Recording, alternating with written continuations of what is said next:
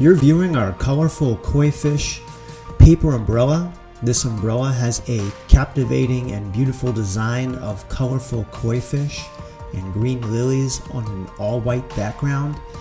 The umbrella is made of paper and bamboo. It is 32 inches in diameter and 21 inches in total length. And you can see underneath the intricate stitchwork and wood lattice of the umbrella with a red tassel at the bottom to give an ornate look. And this umbrella is easy to open, easy to close.